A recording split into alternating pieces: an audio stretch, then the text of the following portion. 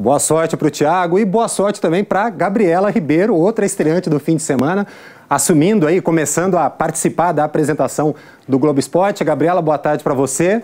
Muito sucesso para ti. Obrigado pela sua participação. Uma honra ter você participando aqui do SP1. Quais são os destaques dessa edição de hoje do GE, então, hein? Que isso, Turcia. A honra é toda minha. É um prazer muito grande estar aqui no GE. A partir de agora também no estúdio, né? Tô sempre só na reportagem. Hoje a gente vai falar bastante sobre o Campeonato Paulista. O Lucas Lima deu uma entrevista coletiva ontem e ele falou sobre essa história do Palmeiras jogar às vezes com um time misto. Amanhã o time enfrenta a Ferroviária com transmissão aqui na tela da Globo. E no GE também a gente vai ver uma reportagem super especial sobre as mulheres que comandam o esporte nos Estados Unidos. Elas estão sempre nos bastidores, mas têm as principais posições de comando. Uma história muito legal. E olha só, também tem uma imagem incrível que dá muita esperança pra gente, que é o Galvão Bueno tomando vacina. A gente vai ver o recadinho que ele mandou nas redes sociais também, Turci, daqui a pouquinho. Legal, Gabriela. Muito obrigado. Então, o Globo Esporte começa logo depois do SPTV.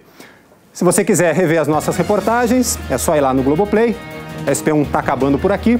A gente se vê logo mais no SP2. Boa tarde para você.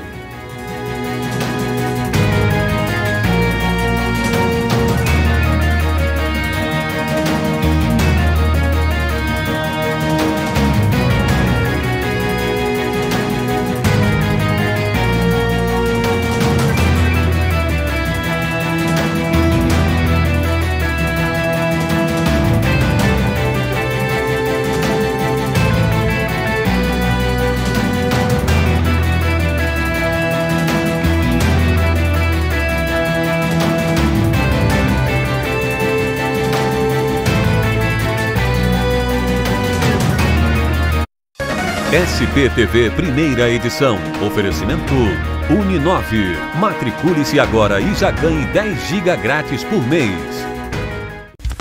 Globo Esporte. Oferecimento Uninove. Matricule-se agora e já ganhe 10 GB grátis por mês.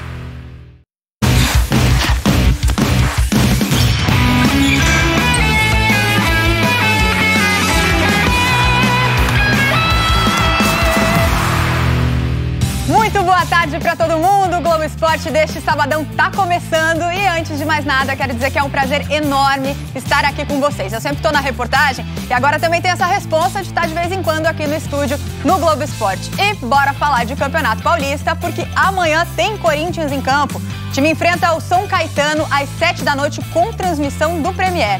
E um dos caras que tem chamado mais atenção no time é o Matheus Vital.